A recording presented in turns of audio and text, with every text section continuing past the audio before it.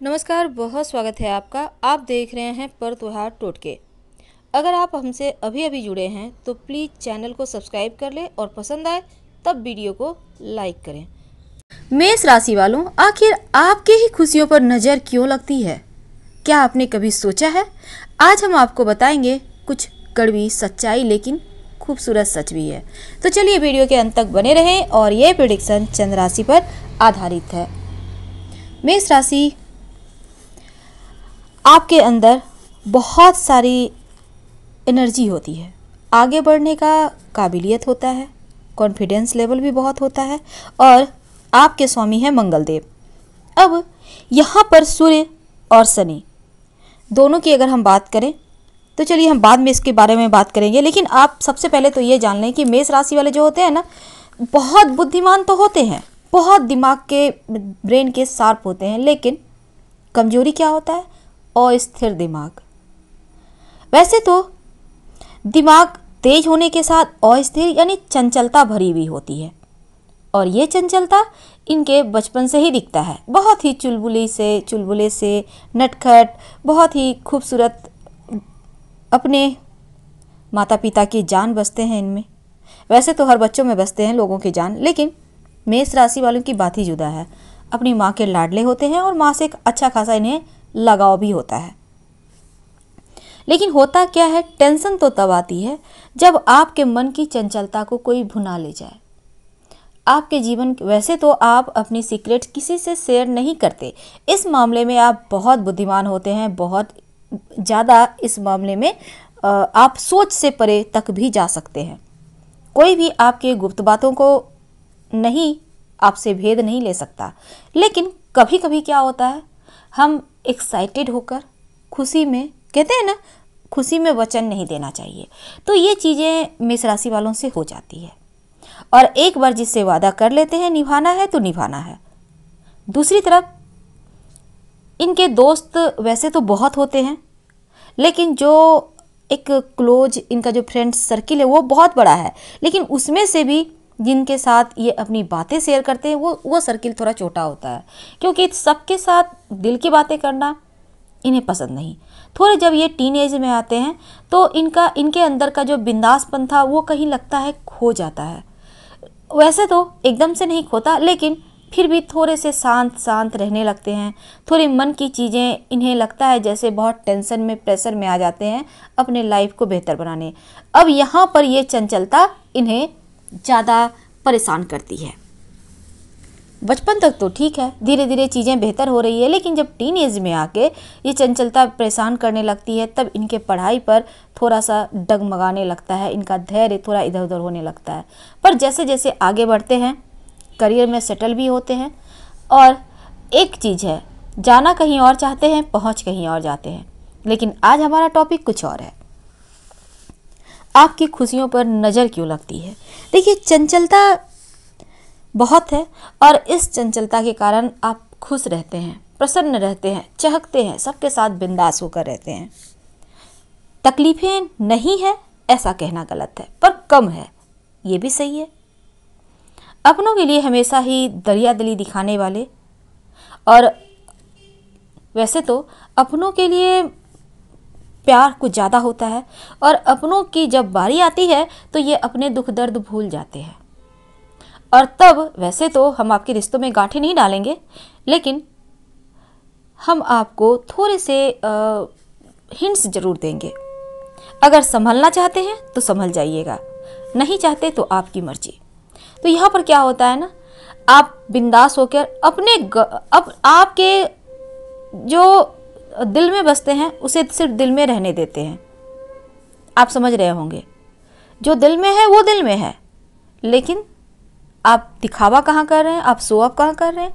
आप लोगों पे कहाँ जान निछावर कर रहे हैं? जो आस पास है। तो दिल के लोग जो दिल में बसते हैं, उनको फिर क्यों छोड़ते हैं? वही आपके सपनों को साकार करने के लिए, आपको आगे बढ़ने के लिए, आपका हिम्मत बढ़ाने के लिए दिन रात एक किए हुए हैं। तब यह उनको छोड़ देना या फिर उनको भूल कर दुनिया जहाँ के साथ खुशियाँ बांटना, खुशियाँ लुटाना और ये चीज़ें लोगों को खटकता है। खटकता इसलिए नहीं है कि आप दिल में बसने वालों को छोड़कर आसपास के लोगों पर ध्यान दे रहे हैं। खटकता इसलिए है, आप इतने खुश क्यों हैं? शायद उन्हें पता नहीं कि खुशी का कारण कुछ नहीं है। सिर्फ़ अपने गम को भुलाकर आपको, आपके जीवन में खुशियाँ घोल रहे हैं। तो यहाँ पर बहकने से बचिए, चंचलता को कम करिए, नहीं तो फिर लोगों को गलत फहमी हो जाएगी। वैसे गलत फहमी दूसरों को होना अच्छी बात है, क्योंकि तकलीफें किसी से नहीं कहनी चाहिए, लेकिन फिर भी अगर आप ज़्यादा प्रसन्न रहते हैं, ज़्यादा खुश रहते हैं तो यकीन मानिए, लोग सोचेंगे, अरे, इतना खुश है। इसके पास तो बहुत पैसे होंगे। चलो, कुछ उल्लू बनाते हैं। फिर आपको भावनात्मक रूप से इमोशनली ब्लैकमेल करेंगे और आप उसमें फंसते चले जाते हैं। और अक्सर मेस वालों के साथ होता है। और फिर लग गई ना खुशियों को नज़र, क्योंकि लोग आपको झूठे सपने दिखा के कहीं फंसा देंगे। लोग आपको कहीं ना कहीं बरगला देंगे और इतना रोना रोएँगे कि आपको लगेगा सच में इन्हें तकलीफ़ है, पर ऐसा होगा नहीं। ऐसे में जो दिल में रहने वाले हैं, इन्हें महत्व दें और बाकियों के लिए भी समय निकालें, पर चीज़ों को समझें, तभी आप बेहतर कर पाएँगे। अब आप सोचेंगे, इतनी सारी बातें हो गई, चंचलता को कम करने का उपाय तो हमने कहा ही नहीं। तो देखिए, चंचलता तो होती है। जाना कहीं और चाहते हैं, पहुँच कहीं और जाते हैं, करना कुछ और चाहते हैं, कर कुछ और बैठते हैं। इसीलिए तो हम कहते हैं, आपकी खुशियों को शायद नज़र लग जाती है और आपको पता भी नहीं चलता। और क्यों लगती है, इसको कैसे ठीक करें? सबसे पहली बात तो आपको सलाह लेकर एक मोती पहनना चाहिए। अगर मूँगा सूट करे तो ज़रूर पहने सलाह लेकर, लेकिन सलाह लेकर। याद रखिए नज़र दोष तांत्रिक क्रियाएँ चोट चपेट दुर्घटना हर एक चीज़ से बचाता है मूँगा। पर सलाह लेकर पहनिएगा। नहीं तो अगर सलाह बिना लिए पहनते हैं तो फिर दिक्कत भी आ सकती है। तो सलाह लेकर पहने। अब हम थोड़ा और आगे बढ़ें। तो आपको रोज़ सुबह भगवान सूर्य को ज़रूर प्रणाम करना चाहिए। उनके सामने गायत्री मंत्र का जप करें।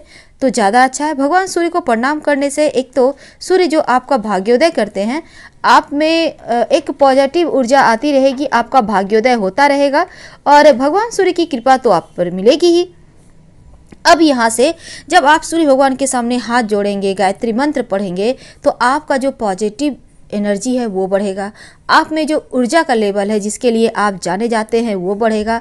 आपका मन भी सही दिशा में चलने लगेगा और फिर भटकाव भी नहीं होगा आप भटकाव से भी बचे रहेंगे। अब यहाँ पर कुछ चीज़ें हाथों से निकलती हुई इसलिए नज़र आती है, क्योंकि मंगल देव आपके राशि के स्वामी हैं, और मंगल ग्रहों में सबसे ज़्यादा शक्तिशाली भी माना जाता है। और इसके साथ ही यहाँ पर होता क्या है, मंगल ग्रहों के सेनापति ग्रह हैं, और मंगल व्यक्ति को साहसी भी बनाता है, आपका आत्मविश्वास भी बढ़ाता है आपका एनर्जी लेवल भी बढ़ाता है। कर्ज, भूमि, सेना, उच्च पद, मंगल से ही मिलता है। इसीलिए तो आप सफलता आसानी से प्राप्त कर लेते हैं। पर यहाँ पर, जैसा हमने कहा, आपको सलाह लेकर एक मूँगा ज़रूर धारण करना चाहिए। लेकिन आम तौर में, तौर पर देखा गया है कि आपके जीवन में मंगल थोड़ा दबाव पैदा करता है। थोड़ा भार रहता है, थोड़ा प्रेशर होता है चीज़ों को लेकर, रिश्तों को लेकर। दरअसल मंगल अगर ख़राब हो जाए ना, या फिर जिसे हम मंगल भारी होना कहते हैं तो थोड़ी दिक्कत बढ़ जाती है। वैसे तो मेष राशि का स्वामी मंगल है, इसलिए सामान्य तौर पर मंगल भारी नहीं होता, खराब नहीं होता, लेकिन फिर भी अगर संभावना बन जाए, तब ऐसी दशा में होता क्या है? आपका स्वास्थ्य खराब कर देता है, दुर्घटना की संभावना बन जाती है ऑपरेशन जैसी चीज़ें होने लगती है जीवन में, चोट चपेट की नौबत भी आ जाती है, अगर मंगल भारी हो तो। अगर मंगल लगे आपको कि दिक्कत दे रहा है, आप मेष राशि के हैं, चीज़ें इधर की उधर हो रही है, अब हमने सोचेंगे कि हमने टॉपिक कुछ और रखा था तो मंगल पे कहाँ से चलाए देखिए, हमने चूँकि आपको कहा कि जीवन में ज़्यादा बाधाएँ आए, ज़्यादा लगे कि जीवन जैसे रुक सी गई है, कोई अवरोध है, कोई बहुत बड़ा प्रेशर है, तब ऐसे में आप मंगल को ठीक करें। करेंगे कैसे? हनुमान जी को हर मंगलवार के दिन पान के पत्ते पर थोड़ा सा सिंदूर रखकर अर्पित करें। अगर आप महिला हैं तो लाल पुष्प अर्पित कीजिएगा। महिलाएँ सिंदूर अर्पित नहीं करेंगे। फिर देखिए जीवन में कैसे चमत्कार होता है। सब कुछ बेहतर होता चला जाता है और आप बिल्कुल हल्का महसूस करते हैं। एकदम से पावन। हम आपसे विदा लेते हैं। हर हर महादेव।